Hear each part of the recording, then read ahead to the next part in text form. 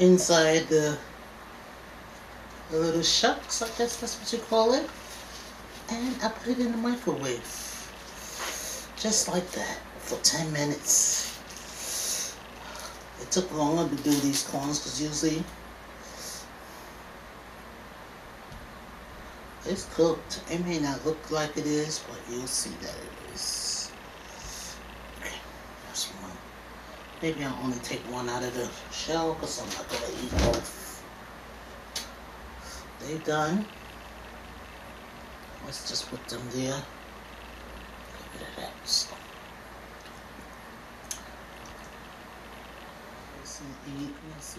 How you guys doing? Just wrapped my head up today. I didn't feel like taking it out or getting too fancy.